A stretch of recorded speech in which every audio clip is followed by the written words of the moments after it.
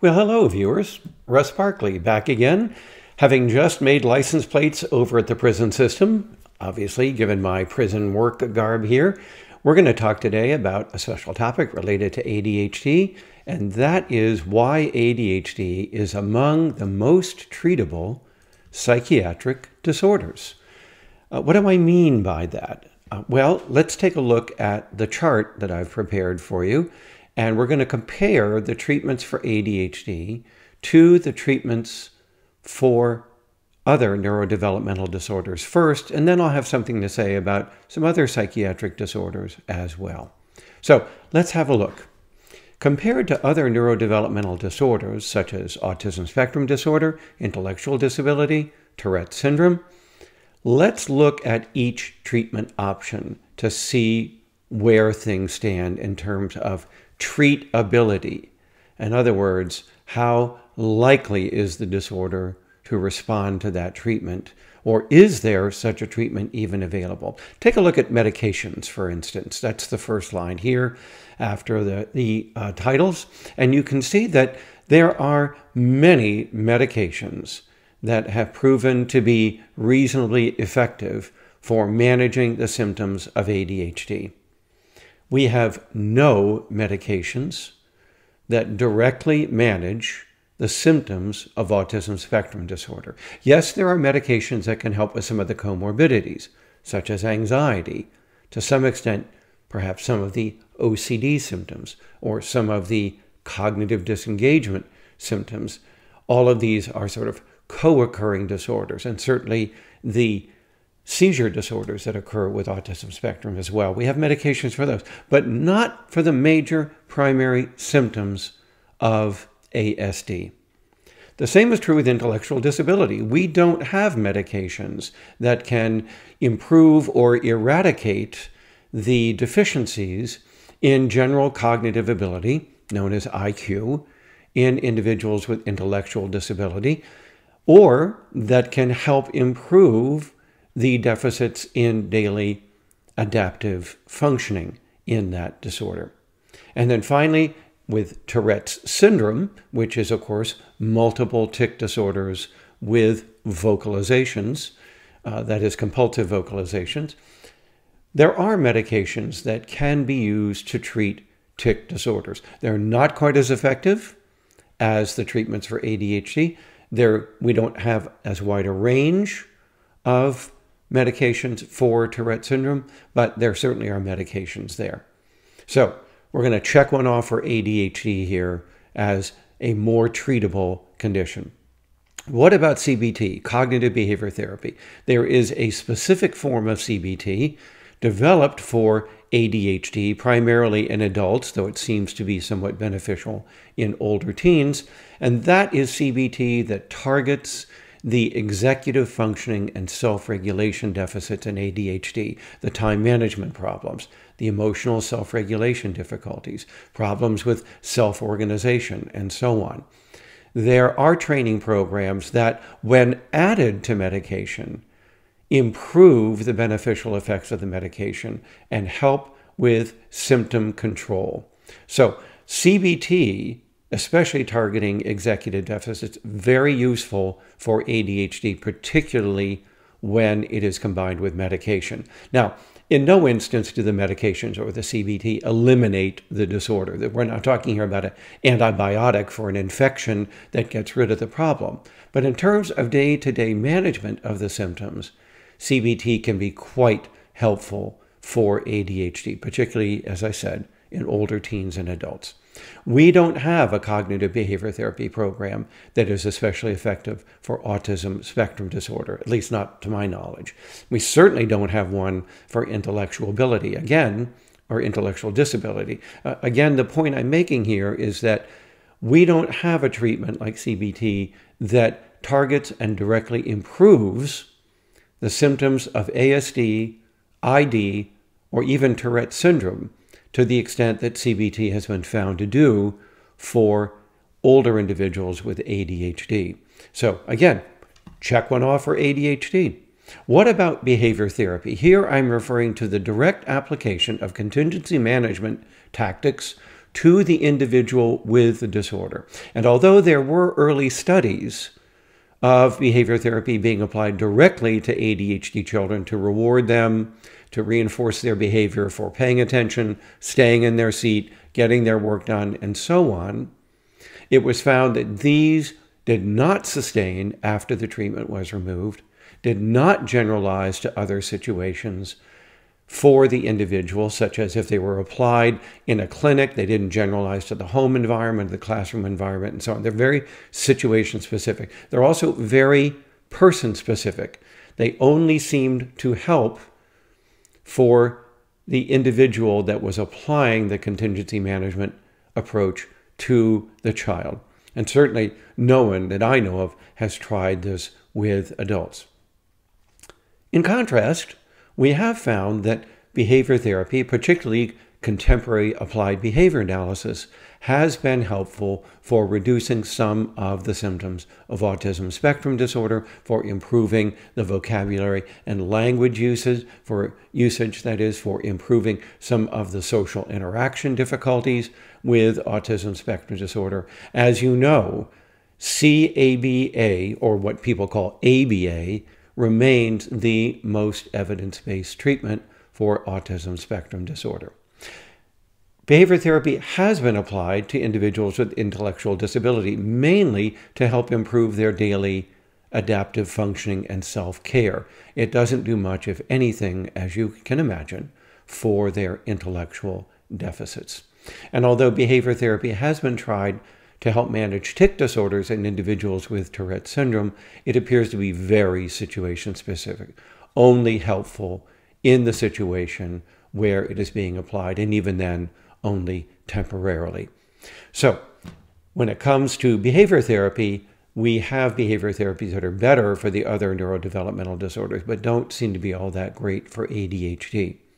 Parent training programs have been developed for various neurodevelopmental disorders, specifically for oppositional disorder and especially for ADHD, but they are not intended to improve ADHD directly. They're intended to improve parent child conflict, oppositional defiant disorder, such as temper tantrums, outbursts, noncompliance, and so on. And for that, they do a very good job. But they don't address the specific symptoms of any of these neurodevelopmental disorders. Uh, Although we do parent training for autism spectrum disorder, just as we do for ADHD, it's not really to improve the symptoms of autism spectrum disorder. However, within the past decade, a program developed by Geraldine Dawson called the Denver Early Start Program has been extended to a parent training program and does appear to have some benefits in helping to improve the symptoms of ASD in those children. But we don't have any such programs for intellectual disability or Tourette syndrome. So uh, the parent training program for ADHD, while it modestly improves ADHD, is more aimed at conflict, at defiance.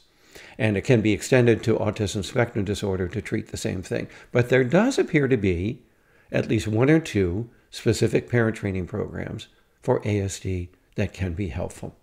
What about classroom management? Well, you can apply classroom management strategies across these various disorders, but they have the greatest evidence for their effectiveness in managing the symptoms of ADHD and the downstream effects of ADHD on educational functioning in ADHD itself. So, uh, much better classroom management efficacy for ADHD than for the other disorders. We certainly do classroom management for these other disorders, but they don't necessarily directly address the primary symptoms. Usually they're being used to address some other related behavioral or educational problems. So, again, check for ADHD there over the other disorders. When it comes to adults, we know that adult ADHD coaching is increasingly having evidence for its effectiveness as a supplemental treatment to medication, to CBT, and to other programs for adults with ADHD. So uh, we don't have anything like adult coaching that has been shown to be of benefit to ASD, ID, or Tourette syndrome.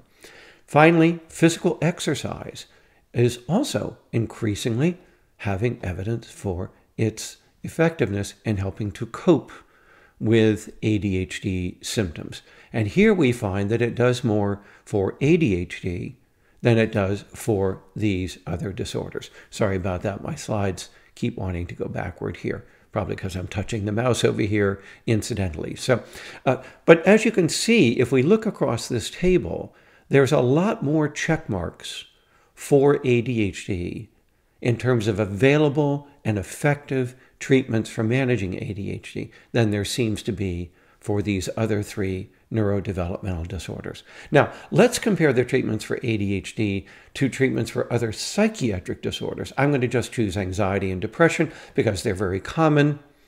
Uh, and let's compare the treatments for ADHD in those.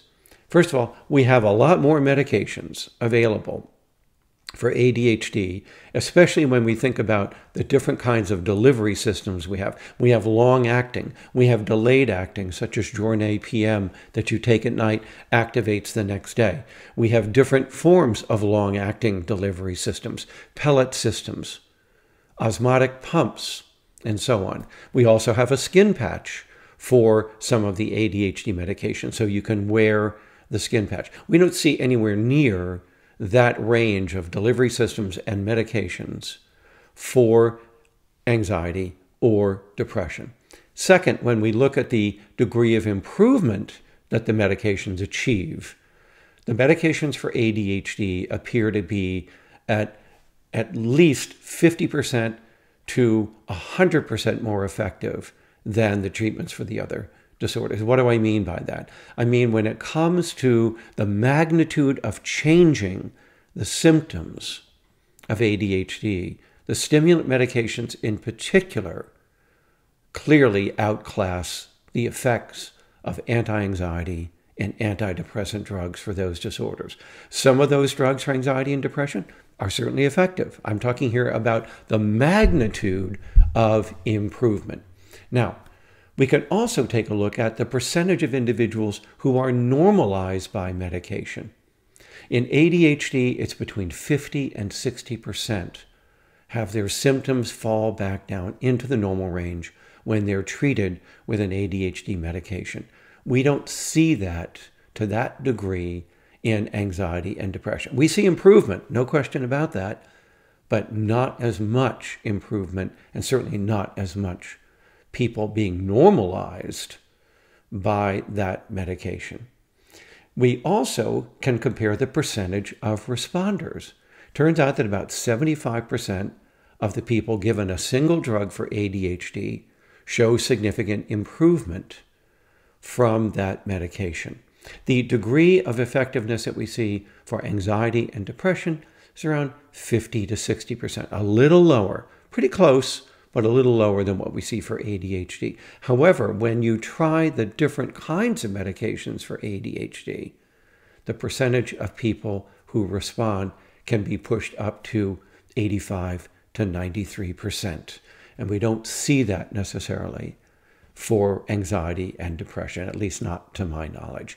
So when it comes to the medications we have available, clearly we have much more available, more effective, greater likelihood of normalization, greater degree of improvement when we look at the medications for ADHD compared to medicines for anxiety and depression. And while we do have programs like CBT for anxiety and depression, probably nearly as good, if not equally as good, as CBT for adult ADHD, we also have some programs related to parent training uh, and adult coaching for anxiety and depression uh, in children and in adults, of course. I'm speaking about the two different age groups here. Um, so, overall, the number of treatments, the improvement that we see, the percentage of normalization, the percentage of responders, and so on, seems to be much greater for ADHD than even for anxiety and depression although we do have some effective medicines for them too, along with effective forms of psychotherapy, such as CBT. So I hope you can see that. This is why you hear people like me and others often saying that ADHD is among the most treatable psychiatric disorders out there, and certainly the most treatable of the neurodevelopmental disorders. Well, I hope you learned something from this presentation. I thought it might be helpful to offer a lot of hope to those with ADHD and to their families that this is a highly treatable condition. And therefore, one needs to get busy, get diagnosed, get treated, because we can see a lot of gains from the treatments for ADHD, particularly across many different domains of functioning and the domains of daily life activity, such as home, school, work, driving, money management, social relationships, uh, crime, uh, increased risk for risky sexual activity. ADHD treatments affect all of those domains of functioning, and we don't see that with these other disorders to that degree. Okay, so I hope you found it useful. Please join me again later in the week for another presentation on ADHD. And as always, join me on Saturdays for my weekly research roundup on new research that I find to be worth commenting on. Okay, everybody, take care and be well.